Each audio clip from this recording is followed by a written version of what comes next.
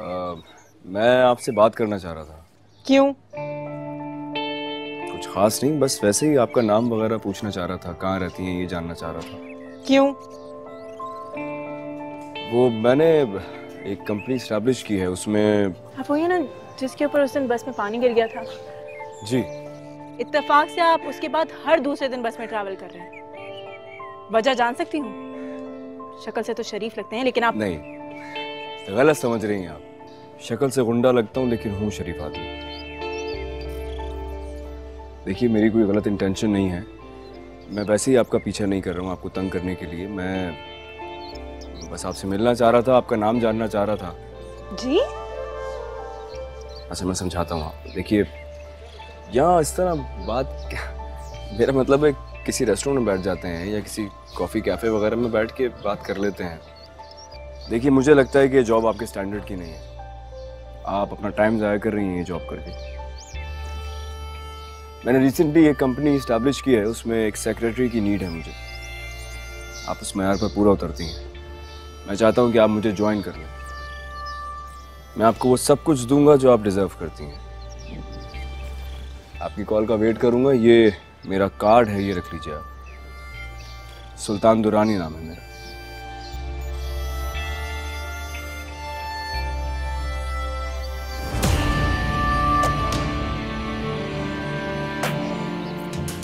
अपनी ये सोच भी कैसे गया कि आपकी एक ऑफ़र पे मैं दौड़ी चली आऊँगी?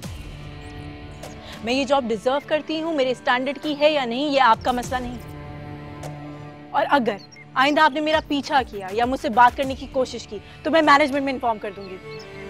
और अगर ज़रूरत पड़ी तो पुलिस में कंप्लेन भी फ़ाइल कर सकती हो। सुना आपने? जी बिल्कुल समझ आ गई है। चलो फटाफट लेकिन क्या कर रही हो? एक दफ़ा उसकी बात तो सुन। यार, हो सकता कोई ज़रूरी बात रही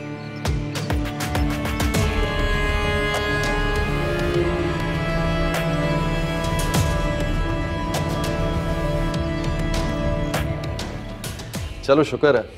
तुम्हें नाम तो मालूम हुआ उसका।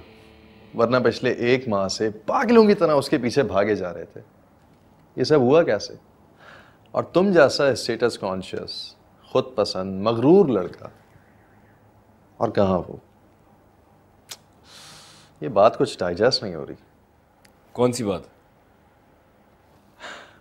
यही बात यार कि कहाँ तू और कहाँ वो एक मामूली सी bus hostess it's it's it's completely unbelievable हाँ मुझे भी समझ नहीं आ रहा है यार जाने ये सब कैसे हो गया कब हो गया। मुझे कुछ समझ ही नहीं आया।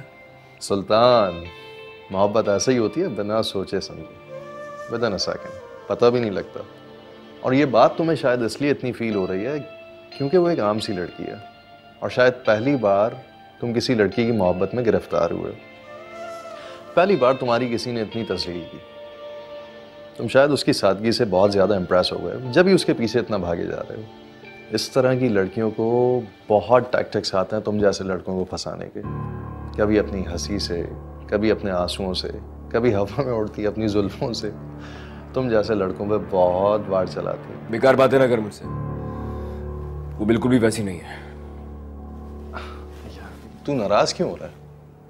ऐसा लग रहा है तुझे वाकई में उससे मोहब्बत हो गई। पता नहीं यार। कभी कभी मुझे लगता है जैसे किसी ने मुझ पर जादू सा कर दिया है। मैंने जब से उसे देखा है मेरा दिल और दिमाग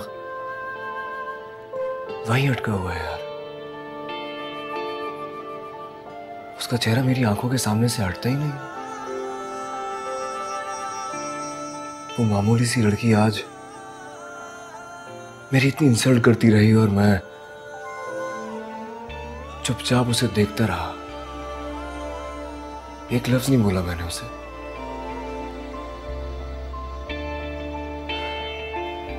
मुझे समझ ही नहीं आ रहा कि मुझे क्या हो गया है। क्या चाहते हो? प्रपोज करोगे उसे?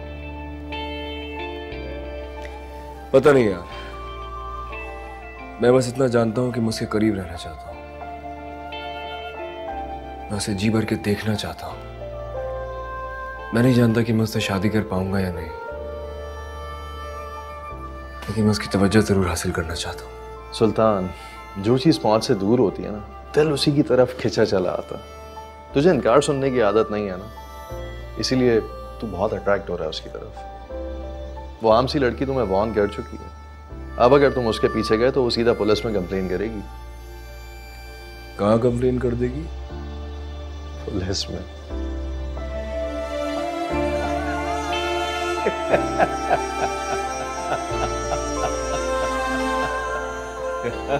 मासूम। क्या तू कभी तो सीरियस हो जाएगा? सीरियस ही तुम यार।